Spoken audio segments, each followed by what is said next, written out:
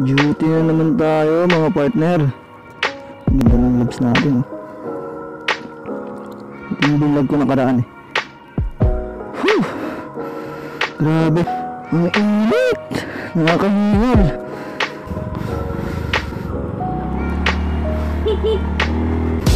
Alright, what's up mga kapartner? It's your boy Lams Moto. Nagawa lang dito sa video ko. ah, don't forget to subscribe and the notification bell. Shoutout nga pala sa 2,555 subscriber natin dyan. Mabuhay kayo hanggat gusto nyo. okay mga partner, may share lang naman ako na konting payo at konting tips sa mga taong tinatamad na magtrabaho. Tayo kasi, masipag tayo. Papasok na nga tayo eh. Ah, payo ako sa mga taong tinatamad na magtrabaho at tinatamad na abutin yung mga pangarap nila. Una-una sa lahat, kung tinatamad ka na magtrabaho, partner, isipin mo muna kung anong kasunod na mangyayari. Di ba? Sa realidad ngayon mga partner, napakahirap maghanap ng trabaho. Napakahirap kumita ng pera. Kung may trabaho ka, maswerte ka. Kasi pinalad ka na magkaroon ng trabaho sa panahon ngayon. Alam niyo bakit? Kasi sa panahon ngayon, napakahirap mag-apply, napakahirap maghanap ng trabaho. Nagtatanggalan pa nga yung mga ibang kumpanya. Kaya mga partner, kung may trabaho ka, mahalin mo at pagtsagaan mo kung anong meron ka. Kasi partner, isipin mo na lang, kahit di ganun kalaki yung sahod mo, kahit di ganun kalaki yung kinikita mo, kahit di mo nakukuha yung mga gusto mo, ang pinakamahalaga, sumasahod ka, may kinikita ka kahit konting pera, okay? Napaka-swerte mo kung may trabaho ka ngayon. Ako, may trabaho ko ngayon, kaya nagpapasalamat ako kasi meron akong pinapasukan, meron akong trabaho, konting kita, meron tayong nakakukuha. Huwag na huwag kang tatamarin kung anong meron kang trabaho.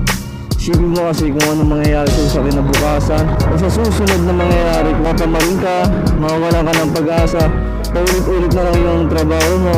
Alisin mo sa mindset mo yung tinatamad ka magtrabaho. Kasi partner, nag-umpisa ka, walang wala ka, di ba? Ngayon meron ka nagtamasa na kahit kaunti, kahit kahit di man ganun kalaking pera, kahit di ganun kalaking sahod, at least may trabaho ka. Meron kang naiipon, meron kang pagkakabalahan, di ba?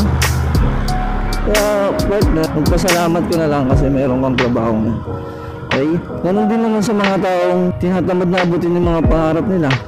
Alam nyo mga partner, unang-una sa lahat, nag-umpisa ka. Dapat tapusin mo. Tapusin mo at gawin mo na maabot yung mga pangarap mo. Kasi partner, umpisa pa lang naman yan. Lahat naman may trial. Lahat pagsubok lang. Lahat ng problema, kayang-kaya naman yan dito sa Siyempre, basta yung mindset mo, tubutin lahat ng pinapangarap mo. Okay? Hindi mo siya maabot kung idodon mo yung sarili mo hindi mo siya makukuha kung hindi mo i-up yung sarili mo. Kaya mga partner, go mo yung sarili mo. Okay? Ang mindset mo palagi is ma-achieve mo yung mga pinapangarap mo. Balang araw, maaabot mo rin yan. Kaya, katiis ka lang, tiyaga ka lang.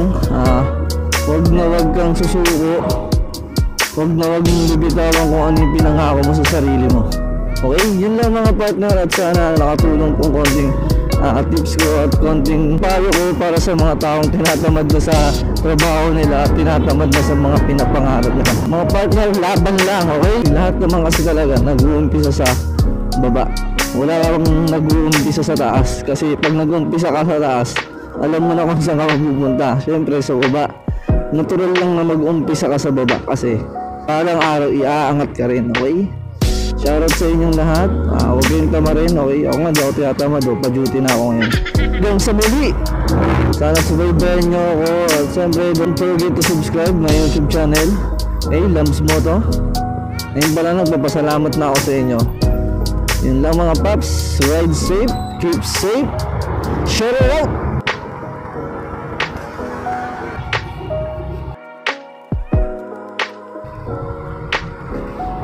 Grabe ang init.